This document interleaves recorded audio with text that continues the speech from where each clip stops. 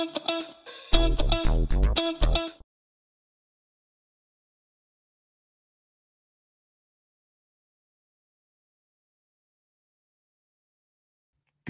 morning, evening, really early in the morning, depending on where you are, everybody. Welcome to the Tomcat track for Tuesday, September 29th.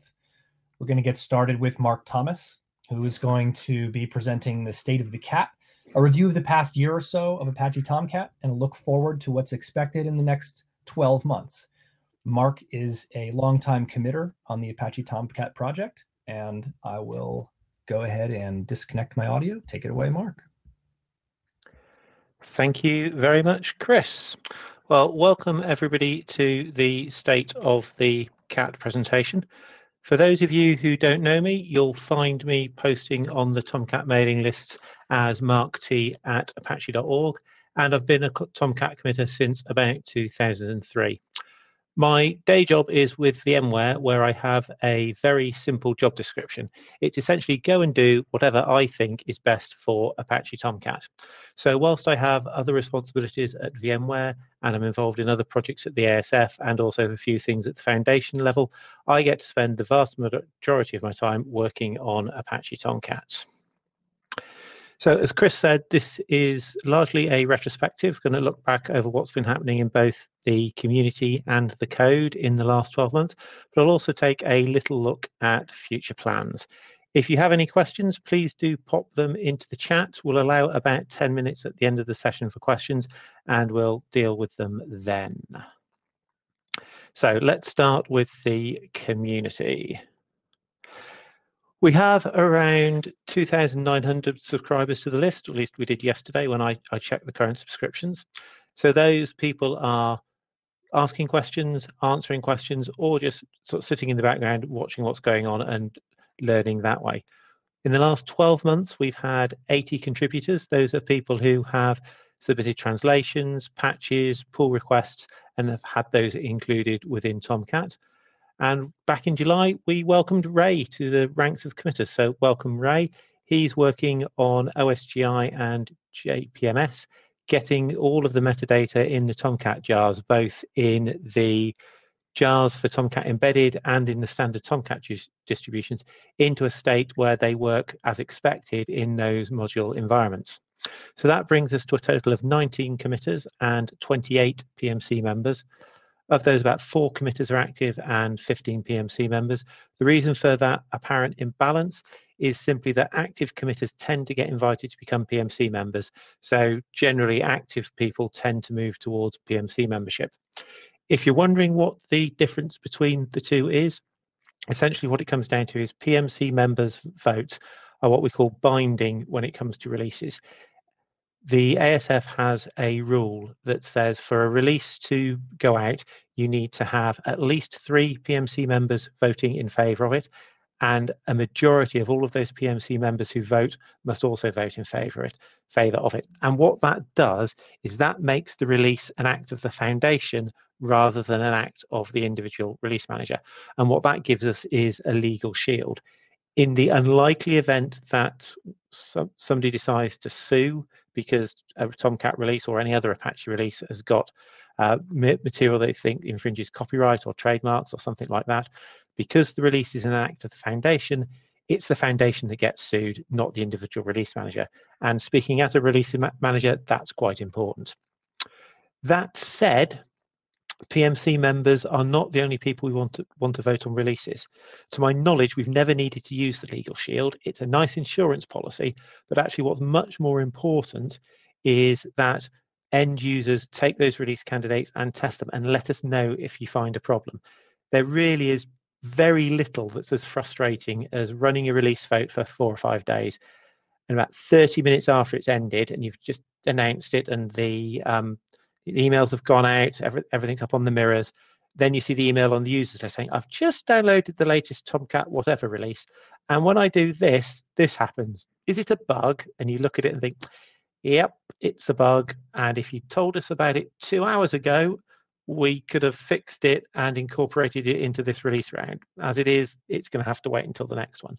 So one of the one of the things you can do in order to contribute back to the project, and there'll be several of these that I'll mention throughout the presentation, is download the release candidates, test them, and let us know whether they work for you or whether they don't work for you. Uh, both sorts of feedback is useful. And as I say, you don't need to be a PMC member. We accept that sort of feedback from absolutely anybody. And I would say probably in 99 out of 100 cases where somebody has sort of dropped an email to the dev list saying, uh, I think I found a problem. We said, yep, we've cancelled the release, we fixed the problem, and we've restarted the release process. Whether that person's a PMC member, a committer, or just an ordinary list subscriber. We, we pay a lot of attention when people say they found a problem with the release. So, so that's one of the opportunities you have to get involved. Your vote really does count. Other community things, events have obviously been a little bit different over the last 12 months. Uh, the last in-person event we had was ApacheCon Europe back in October 2019. You can find the slide decks for those on the Tomcat website, along with decks and often audio and or video recordings for quite a few of our past presentations. If you're looking for information on a topic that tends to get covered uh, in conference presentations. So that's typically things like clustering, reverse proxying, TLS, those sorts of things. There's a lot of good material on those topics in those presentations. And if you've got questions in that area, I'd strongly recommend you have a look there and then bring any additional questions you have to the mailing list. You might not be aware that earlier this year, Google provided the Tomcat project with $5,000 towards improving security. Our initial plans were to come up with a security hackathon uh, that was going to be face to face. and obviously, the, the, money would then pay towards travel and the venue and things like that. That's obviously off at the moment, and we're currently discussing on the users list what we might be able to do virtually as a, not necessarily as a replacement, possibly even as in addition to that, because it's certainly early indications are that the virtual event is going to have much lower costs. So we might be able to do several of them. We shall have to see. But if you've got views on what you think should be in a security hackathon or a security event, then please speak up on the users list, add your contribution to that particular thread. A couple of years ago, we opened up the Tomcat translations to effectively everybody. Um, we moved the data over to poeditor.com where we then import it regularly into the releases. And that project is set up so absolutely anybody can contribute. So whether you've just run Tomcat in your native language and you've realized that there's a typo in one of the messages, or whether Tomcat doesn't have your native language and you'd like to translate all, what is it, three and a half thousand uh, messages, I think it is, then you can join the Tomcat project at PO Editor and start making those contributions. As I say, anything from a single translation all the way through to a complete language um, would be more than welcome. In the last 12 months, we've seen Chinese and Japanese join French and Korean at 100% coverage. Obviously, English starts at 100% coverage because that's the language that all of the messages get written in first. And then obviously things are translated from there. But we've also seen additional translations and improved translations in Spanish, Czech, German, and other languages as well. Now, obviously, it, that platform supports hundreds of languages, and if we have translations a complete set of translations in all those 100 languages, then the Tomcat um, distribution is going to get quite big. And we don't really want to be in a position where a Tomcat distribution is 100 meg, 99 meg of which is Tomcat and 91 meg of which is translations. If we ever get to that point, then we might need to rethink things a bit. But for now, the translations are a relatively small part of the Tomcat download. And once a language reaches a critical mass, which is the, at the moment is somewhere around 5 to 10% of the strings being translated, then we include it in the standard distribution. You're probably aware we migrated to Git a couple of years ago, but we didn't quite migrate everything. Um, we've continued to see a steady stream of PRs from Git, which is great. And we migrated ModJK to Git this year. Uh, the reason we, it was migrated then was essentially not much had been happening in ModJK, and it got to the point where we had some changes to make. So as we were uh, touching the code base anyway, it seemed like a good time to move it to Git. So that's what we did. Of the modules that are still left in SVN, those are the Tomcat website, the taglib subproject, and the Tomcat Maven plugin. Website is unlikely to move to Git anytime soon, not because there's anything particularly wrong with Git, it's just that The nature of the website is that Git and FCN, SVN serve it equally well. There's no particular driver moving the website towards Git. So at this point in time, I don't see anybody stepping up and volunteering to do the work to do that. And if somebody does, that's great. It won't. Um, it's not a good thing. It's not a bad thing. It's just that that's fine. But as I say, there's no, nothing particularly driving that at the moment. Taglibs is a somewhat dormant project given the recent, well, not so recent now, move of Java EE over to Jakarta EE, then I think the Taglibs project is probably heading towards retirement. And that's a discussion we really need to have on the mailing list, but I suspect that's where it will end up. So Taglibs will move into the Tomcat attic we have for modules that are no longer being actively supported. The Maven plugin, uh, that's a module that sees a steady stream of user questions and bug reports and occasional pull requests. What we don't really have is anybody to look at those. So another opportunity to get involved in the project if you know a little bit about Maven, you know a little bit, bit about the Tomcat internals, or you're willing to learn about those, then the Maven plugin is somewhere where perhaps you could get involved in the project. Essentially, if somebody comes along, produces a test case that one of the existing committers can run easily to say, yep, this is where you do this, you get this exception, there's a clear problem. You apply this patch, the problem goes away. Um, please apply the patch. Then uh, the committers are going to do that, do that a few times, and you're going to quite quickly find yourself with commit privs on the Maven plugin project. So another opportunity for you to get involved in the community if you so wish. Moving on to talk a little bit about the code then. We had our first Tomcat 10 release this year back in February, and then that joined Tomcat 9 and Tomcat 8.5 on the monthly release cycle. You'll notice that for those, we have a release most months, but a couple of months we didn't. Those were January and August. And that's quite simply that those months occur, are after holiday periods. And as it happened, there wasn't much in the changelog come the beginning of January and the beginning of August to really justify doing a release. So we pushed it, pushed them back till the next month. Tomcat 7, uh, because that's approaching end of life, end of life for Tomcat 7 will be March next year and end of end of March next year. So because it's, it's approaching end of life, and to some extent because of the refactoring that took place between 7 and 8.5, not everything that lands in 8.5 gets backported to 7. So there's not always as much in the changelog to justify a release. Hence, Tomcat 7 releases tend to happen every two months rather than every month. Uh, Tomcat Native and ModJK, they're both in a sort of active maintenance mode. So as we receive bug reports, they tend to get fixed. And then depending on the bug report will depend whether or not a release will follow. So for example, if the bug report is, oh, there's a typo in the documentation, it's, yeah, thank you very much, we fixed it, but no, that's unlikely to trigger a, a release. But if, um, as I think we had for ModJK in the last day or so, a bug report that says, ah, in these circumstances, ModJK is sending this invalid HTTP header, then that's going to get fixed. And that's is the sort of bug that would lead to a release. And then, so it's quite likely we're going to see a mod JK release in the near future. In terms of sort of the frequency of those bugs, we get them for native, it's been roughly every six months for the last few years. Mod JK, it's been somewhere between six months and a year. Um, but they're on that sort of release cycle, but they will continue on that sort of release cycle. They're they are actively supported and actively developed. It's just that they're really in that maintenance mode where it's bug reports that, that drive the releases. There's not very much in either of them in terms of new features at that point, or rather at this point. Our relationship with OpenJDK continues to be a good one. Um, the number of bugs we've reported to them has slowed down quite a bit, um, as has the severity, as has the, the progress on the bugs we do report. Um, it actually happened earlier this week. The last bug report got fixed in the latest early access release, and that release got um, published. Uh, what we're now waiting on is backports, and that does take a little bit of time.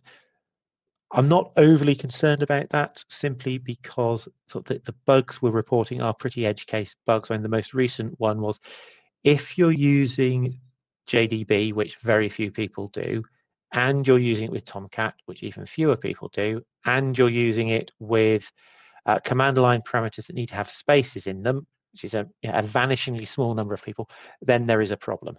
Um, it's a small enough problem that nobody's actually noticed it. It's actually something we noticed while we were testing something else.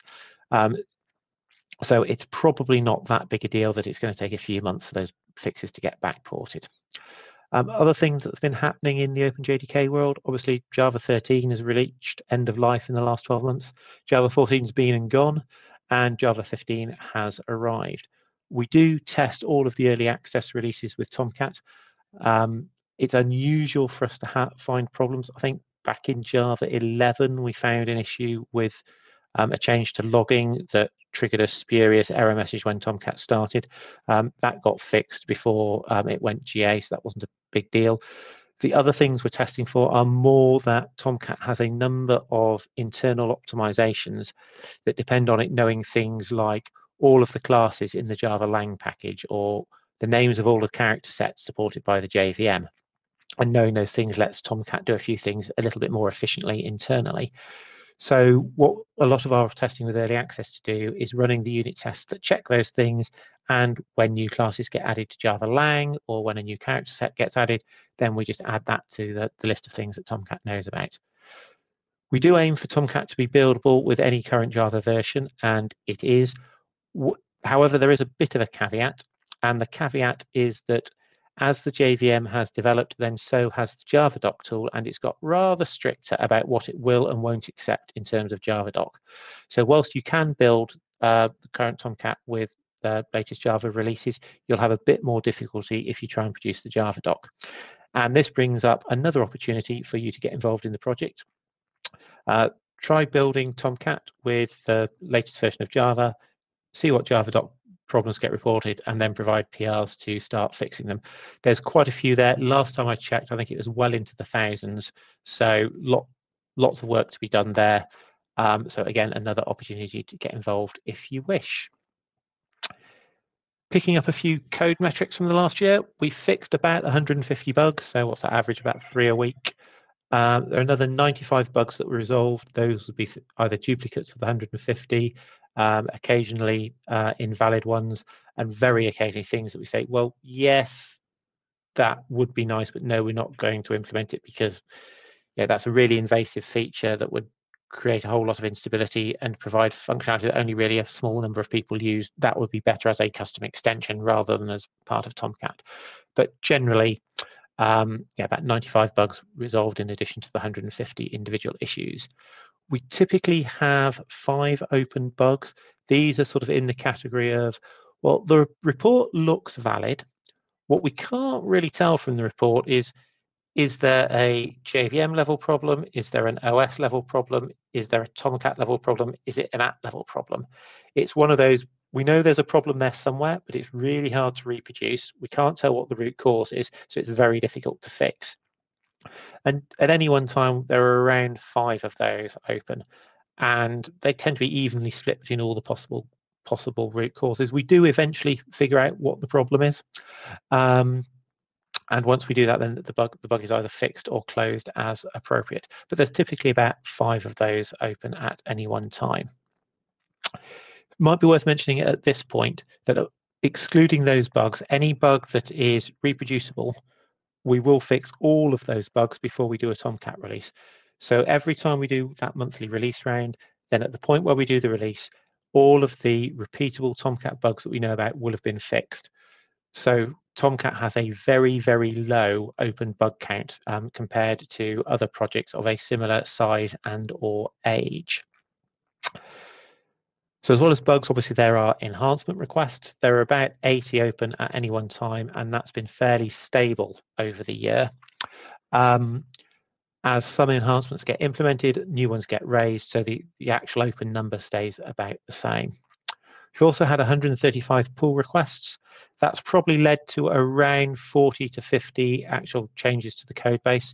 Um, the reason for that discrepancy is several really. Um, Sometimes people support provide multiple pull requests for different versions of Tomcat, so that's really only one change. Sometimes if we ask for a pull request to be updated, rather than updating that pull request, what will happen is the existing one is closed and a new one created. So that creates a bit of churn there as well. But say over the last 12 months, we've had 135 of them, and I'd estimate that's resulting in about 40 to 50 changes. In terms of total lines of code, that hasn't really changed. Um, whilst adding new features, add lines of code, at the same time we deprecate old features and we remove the associated code. So the overall size of the code base has stayed about the same, give or take a, a few hundred lines of code over the last 12 months. Moving on to talk about sort of notable security vulnerabilities we've had in the last year, I think there are two that particularly stand out for me. The first one is uh, 2020-1938. That was the AJP request injection vulnerability.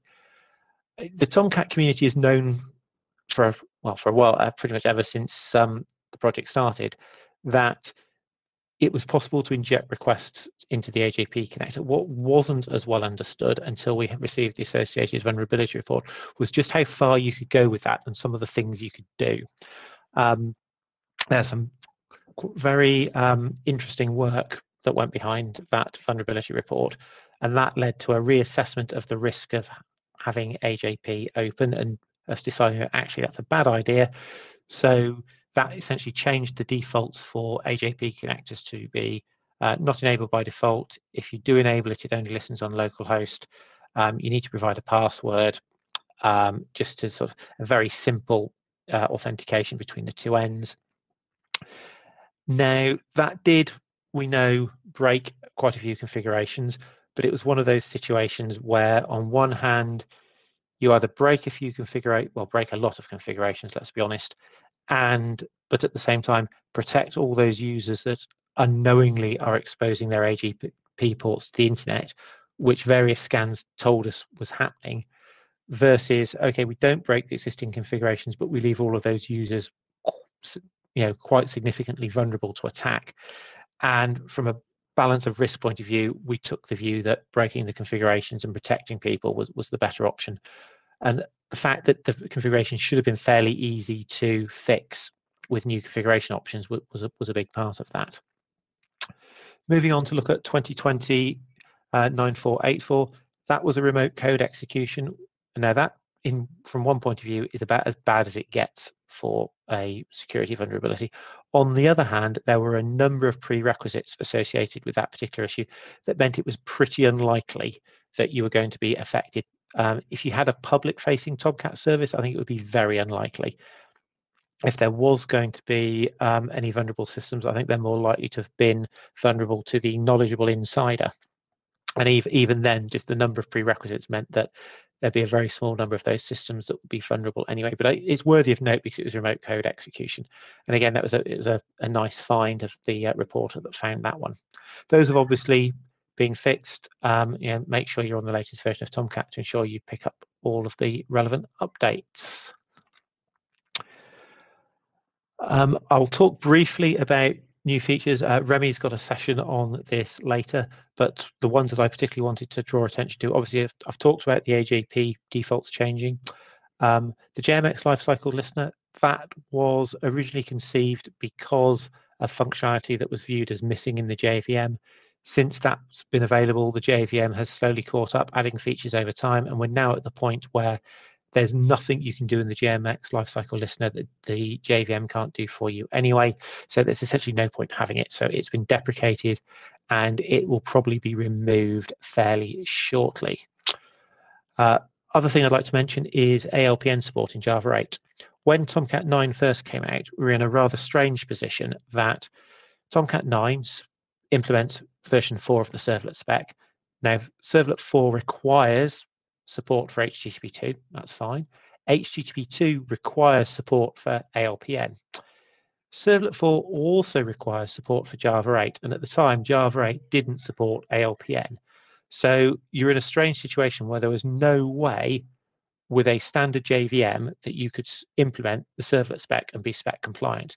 Now, different servlet containers took different approaches to solving that. The approach we took in Tomcat was to if you wanted to use Java 8, then use it with the APR native connector where we have access to OpenSSL, and then we use OpenSSL to do the TLS. It supports ALPN and everything works. Um, now, newer versions of Java 8 have had LP, ALPN support backported, so you can now have a pure Java 8 based Tomcat stack with HTTP2 support. Um, and it was Remy who did the work to backport to make ALPN detection work with Java 8. So thank you for that, Remy. I've mentioned Jakarta EE a few times. I've got another session on this myself tomorrow where I'll go into more detail about what's happening there and how it fits in with Tomcat. But very briefly, Jakarta EE9, which is the release that's being worked on at the minute, is a package rename. So everything that's in the javax package is moving to the Jakarta package. Um, that's obviously quite a significant change. That's expected by the end of the year, and it'll be supported in Tomcat 10.0. So more details on that in my session tomorrow. In terms of future plans, um, I'm expecting Tomcat 10.0 to be beta end of this year, beginning of next.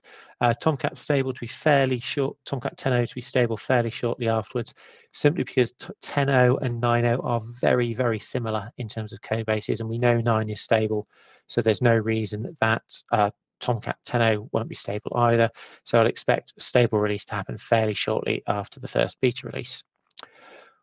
We are seeing over at Jakarta EE some discussion around producing minor specification updates, and the servlet spec is looking at one that would add support for the same site cookie attribute.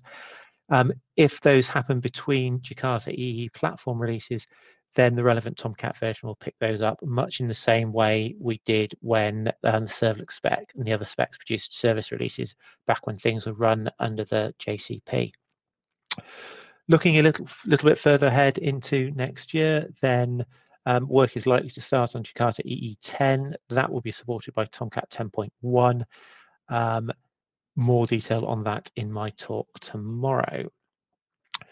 So to wrap up, lots of ways you can get involved. If you'd like to join the users list, answer questions, ask questions, test release candidates, um, report bugs, reports bugs with patches uh, or pull requests to be even better review and or add to the existing translations. There's all the Java stock, Java doc stuff that needs fixing, the Maven plugin, or whatever it is that happens to float your particular boat. And one of the things that is very noticeable um, over my years of involvement with the project is that if you work on something you're interested in, you tend to stick around.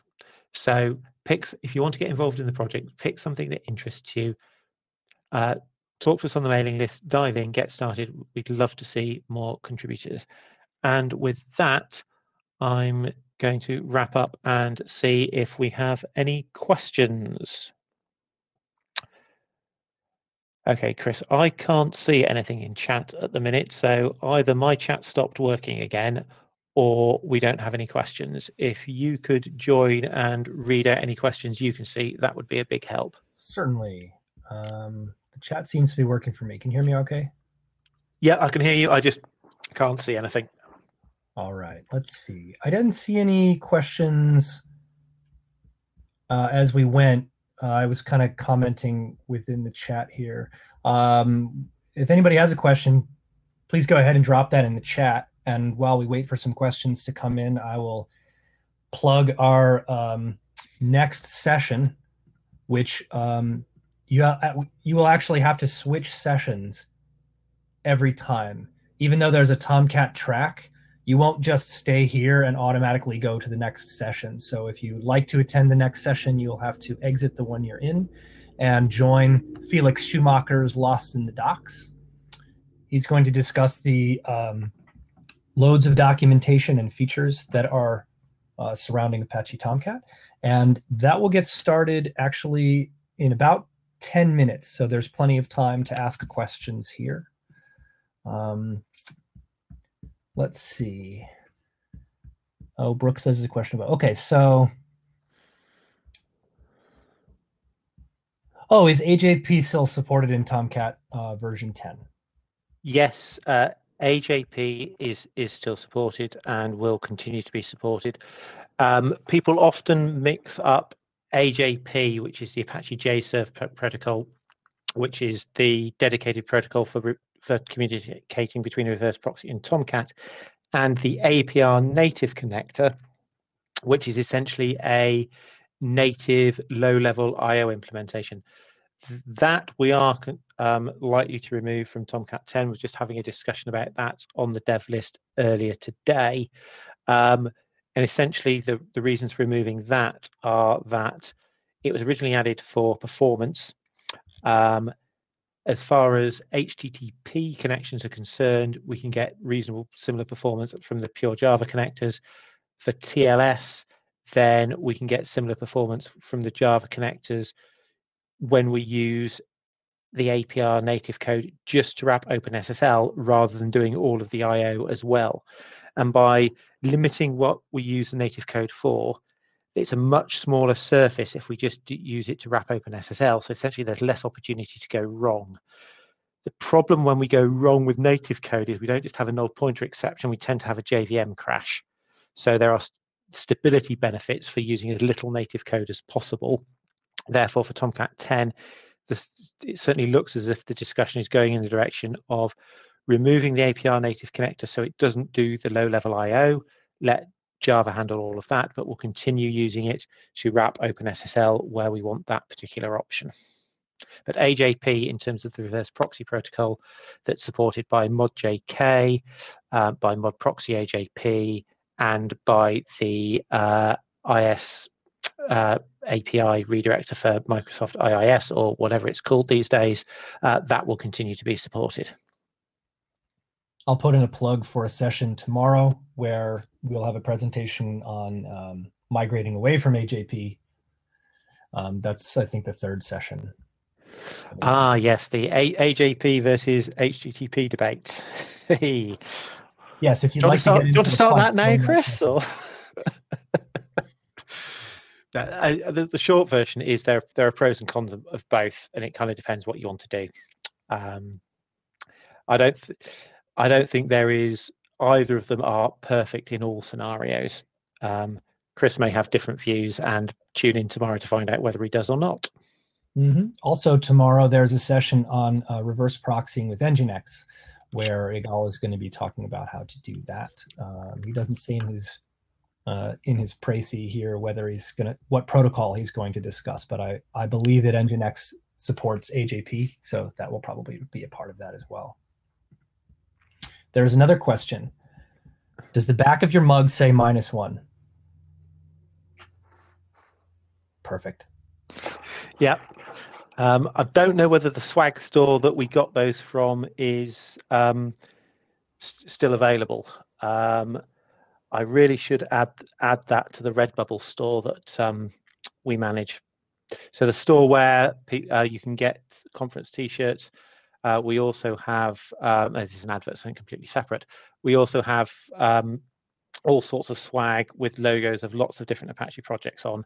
And if your Apache, if the Apache project logo you want isn't there, drop an email to uh, the ComDev list, the community development list, and we'll get it added. But yeah, I should add a plus one, minus one logo as well. Get that onto a few more mugs. All right. I'm seeing a handful of folks jump into the session uh, just as we're wrapping up here. If you've just arrived and you're expecting to see the following session, um, please note that you will have to actually leave this session and join the next one. They will probably appear in the Hopin interface in two or three minutes. So if you're waiting for the next session, please look out for that. Did anyone else have any questions for Mark?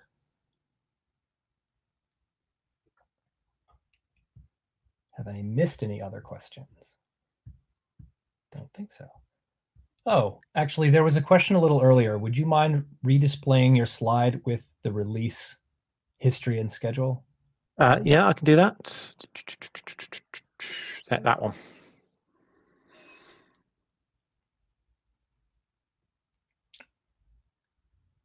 Was there a question about that?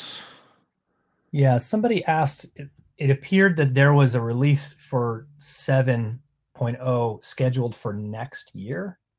So that may just have been. Uh, well, that's that's October last year through till September this year. Ah, um, if okay. that's not obvious, October, November, December, January, February, March across the top. Um, generally, uh, as I say, seven's on two monthly releases. Um, that will continue up until 31st of March next year, where Tomcat 7 will be end of life. Experience tells me what we'll probably get is actually the final release will be in the first few days of April. Um, so that's usually the way things end up working out. Um, but yeah, that will then be that will almost certainly be the final Tomcat 7 release. That being said, um, in theory, there's always the possibility of another release. As long as there are three PMC members that are prepared to vote for it, then you can have a release. Um, I've never seen it. Uh, I've never seen that happen, but in theory, it could. I see that. Um, uh, no, it's not. Sorry, it's not this year. Into, yeah, I see the question. And it wasn't this year into next year. It's the last 12 months. Sorry, I should have made that a bit clearer by putting year, years on that slide or something. Yeah, so that, that's looking back historically. What which release? What releases have we had in the last year? And yes, spot when Mark went on holiday. Okay, any more questions? I believe that's it. Uh, oh, hang on. Oh, oh wait, right. Did you get the text? You're getting texts again. I'm getting text now. Yay, it's working. Uh, okay. If we, so, the question is, if we want to get ready for APR removal in whichever Tomcat version, would we switch to a non-APR connector and the native SSL handling? Uh, would we switch to non-native and the native SSL handling would be turned on off within the Java HTTPS net? Yes, that's correct.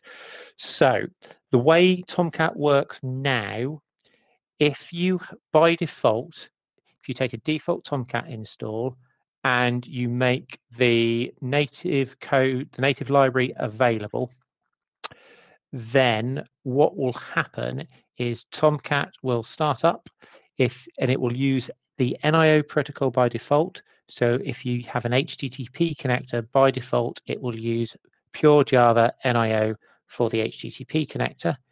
If you have an HTTPS connector, by default, it will use NIO, but because the native library is available, rather than using JSSE for TLS, what it will do is essentially wrap OpenSSL and make it look like JSSE, but it will use OpenSSL via the native code to do the TLS.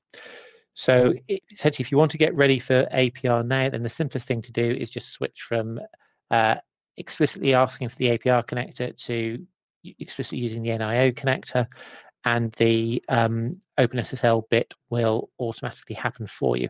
If you want to check which version you're using, when Tomcat starts, if you look at in, in the logs, each connector that starts up, it will have the protocol, which will be HTTP or HTTPS.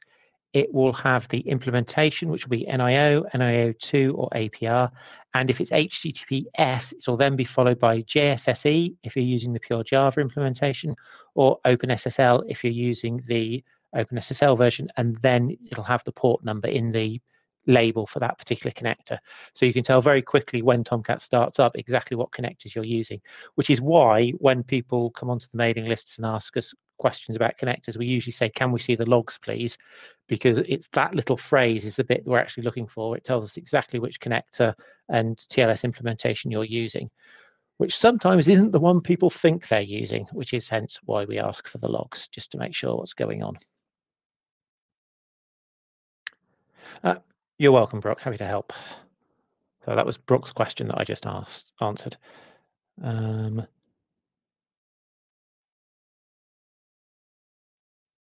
yeah, Konstantin's just mentioned um, the work that's being done with GraalVM. I suspect Remy is going to be talking about that in his session.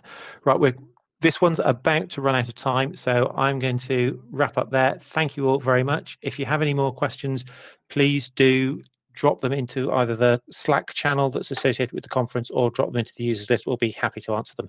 Thank you very much for your attention. Enjoy the rest of the conference.